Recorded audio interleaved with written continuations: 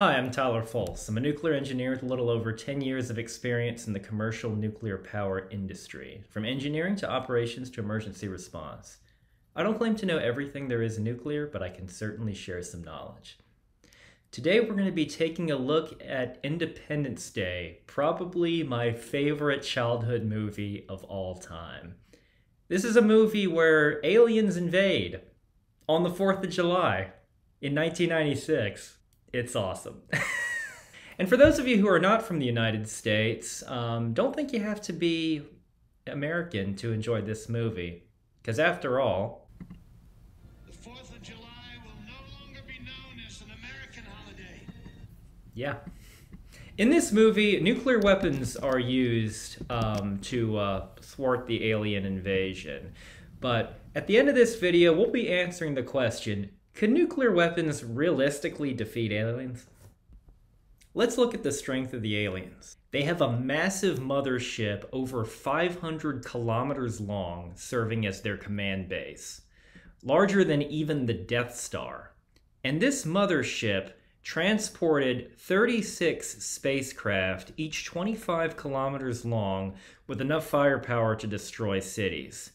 And each of these carried hundreds of small attack craft about the same size as a fighter jet. This is quite the sizable force, um, enough that you would think that could realistically wage war against every nation on Earth, which is great because some some of these movies you just have one or two small ships, and you're wondering, can they actually invade and occupy an entire planet? But it looks like these guys potentially could. Let's see their primary weapon in action.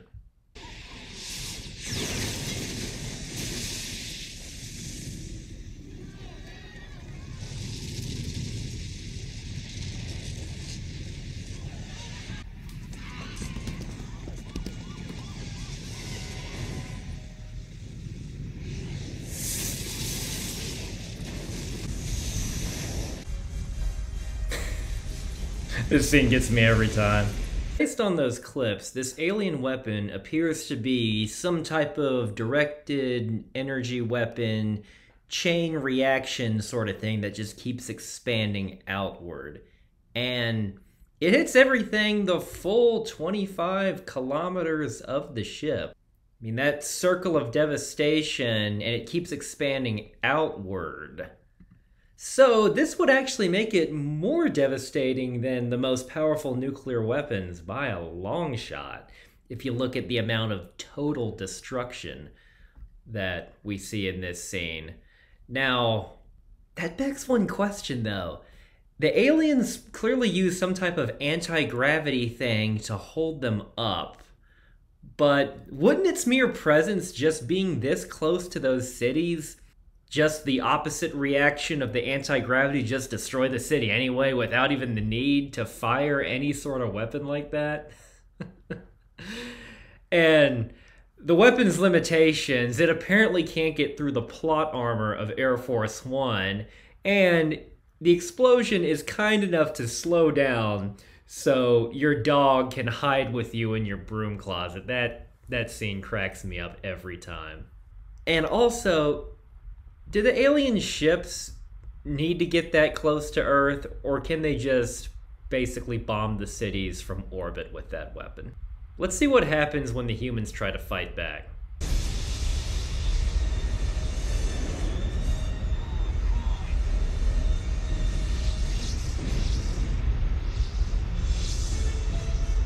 Mm, and it looks like they have this refreshing, minty, wintergreen looking shield they got going on to protect themselves from missiles. Though against a craft that size, I doubt AMRAAMs or Sidewinders, the standard missiles, uh, air-to-air missiles that you have on an F-18, would do much to a ship of that size. They need to use something a lot bigger than that. Alright, now they are going to nuke the aliens. Cool, they were using B-2 stealth bombers. Man, when I was a kid, I thought those things were alien ships just because of how sleek and cool they looked.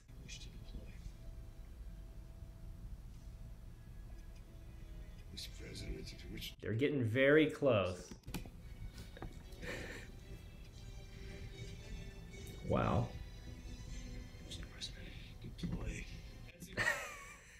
You would think they would have gotten all the permissions squared away before they got close to the thing they're attacking. You never actually see it in this movie, but I always wondered if the bomber um, actually escaped its own attack.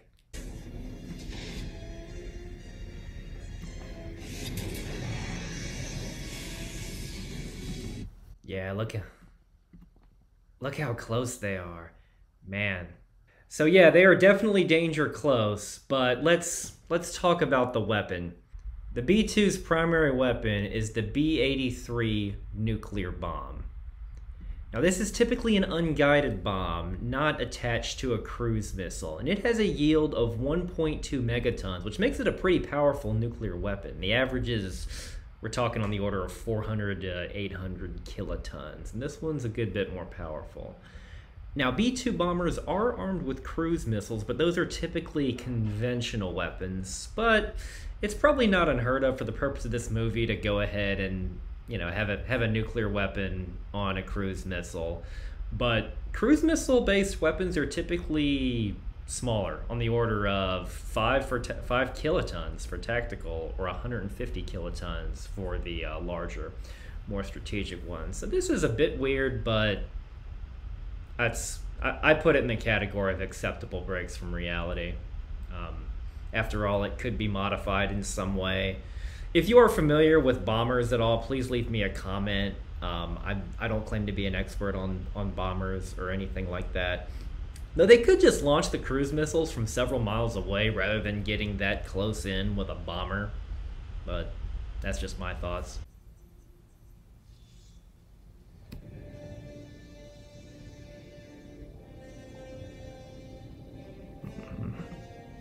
No good. So it looks like the nuke wasn't powerful enough in the movie. But would it work realistically? Well, I actually highly doubt it. And that's because we are dealing with an interstellar warship. To get to Earth, this spacecraft had to travel, who knows, hundreds, thousands of light years, probably at a significantly high percentage of the speed of light, if not actually faster than light. And when you're going that fast, there's a lot of energy in play here. In fact, a 10 milligram grain of space dust that you could be flying through would have kinetic energy of over one kiloton. And this spaceship would be bombarded by many millions, if not billions, of these things over the course of an interstellar journey.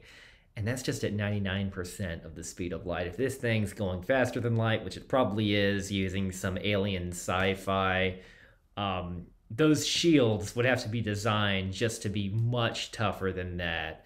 So, no, I don't think the uh, a, a nuclear weapon would realistically penetrate the alien's shield. In fact, the entire payload of a B 2 stealth bomber, which would include 16 of these B 83 1.2 megaton nuclear weapons and all the conventional bombs you see there, that still wouldn't be enough to get through the shield because that's how powerful those alien spacecraft is. It's crazy to think about something like that. What if the aliens have no shields? In this movie, Jeff Goldblum uses a Windows 95 computer to hack the alien mothership and implant a virus to bring down the shield. Now that is wrong for a whole mess of reasons, but okay, let's uh let's see what happens. Hey, they got him. All right, so we can see those same AMRAAM air-to-air missiles actually cause some superficial damage against the alien craft. And those things aren't even known for their armor penetration, so the alien plating's pretty weak, um, and it makes you really question the alien's design. First, they have to get to point blank range where they're going to be relatively vulnerable to attack the cities. Then they only have a single point vulnerability, and that's their shields with no backups, vulnerable to virus from Windows 95, and there's no backup countermeasure for uh, to protect them, and I'm referring to protecting them for interstellar flight. Well, if they ha- they have like a loss of power or something like that, they're kind of screwed when they're traveling through deep space at very high speeds. So, yeah, that's really poor engineering for sure. Now, would a nuke destroy the alien ship in this case without shields? Well, maybe. All right, here's a simulation of a nuclear blast. Uh, we're over Houston, just like they were um, when they used the B 2 scene. This is a B 83 nuclear weapon, yield of 1,200 kilotons or 1.2 megatons. So, this red circle right here that I have flashing, um, that's the heavy blast damage radius. That range is probably what's reliable, gonna completely destroy the alien ship with no shields. And then these rings extending outward are just more moderate levels. So heavy blast radius of 2.1 kilometers, that's probably enough to wipe out a sizable chunk of the alien craft. Now that's not going to completely destroy the thing because it's obviously at 25 kilometers across. But if you hit it in a certain spot, right there, right next to that fin like structure, that would be enough to take that chunk out easily which is probably where the front of the of the craft is and it would probably do enough damage to get the ship to, cr- to crash um, and the crash would do far more damage to the enemy ship than the nuclear weapon actually would. But hey, what do you say? The bigger they are, the harder they fall. So, yeah, no shields. You hit it right there. That ship's coming down. Let me know what you think down in the comments below. Here's how they take down the alien ship in the movie.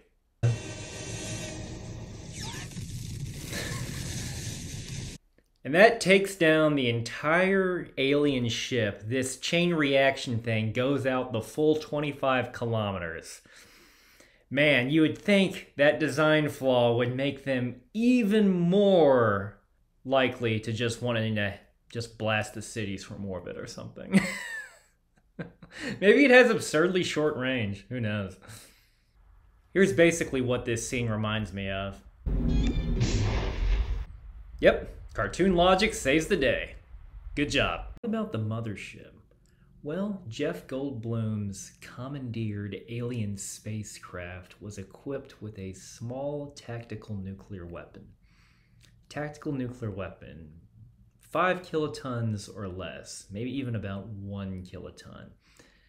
Even without shields, that would do nothing to a 550 kilometer wide spacecraft. Let's see what the inside of this thing looks like, though that looks like the thing that they're going to dock in. I mean, it might be able to destroy that thing if they launch it at that, but not much else.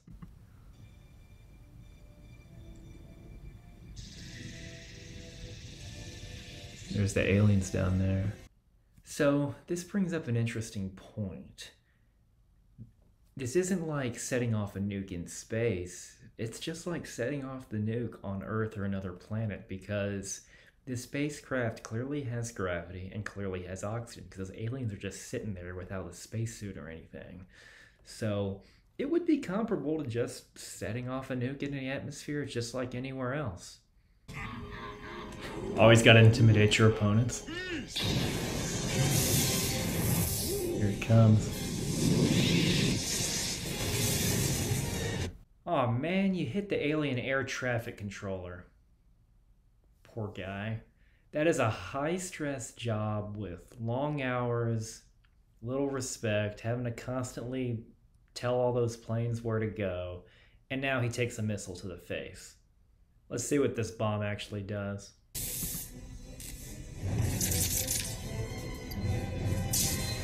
Of course, it has a timer on it.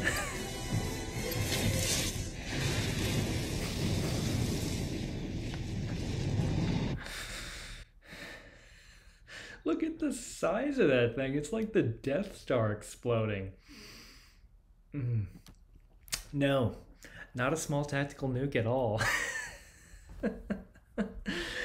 Either that little teeny tiny nuke is many billions of times more powerful than all the nukes in the world, or they happen to hit that alien ship at their weak spot. Gonna go with option two, though how they knew it was the weak spot is beyond me. Also, kind of weird that the weak spot would be right next to where a bunch of spacecraft dock. What if one of the aliens, you know, is a drunk driver or something and runs into it and blows up the entire ship that way? yeah, um, so must be a lot of, I don't know, hyperdrive fuel or whatever alien faster than light machine used to uh, cause it to explode like that. well, that just about sums up Independence Day. So, yes, it looks like you can defeat aliens with nuclear weapons if they have really questionable engineering designs and tactics and they let you go in and blow their stuff up and they're somehow vulnerable to Windows 95 with zero backup systems. Let me know what you think of that down in the comments below. And hey, if you like this video, please join me on my journey to a clean nuclear energy future by liking, subscribing, and commenting. Thank you very much. See you next time.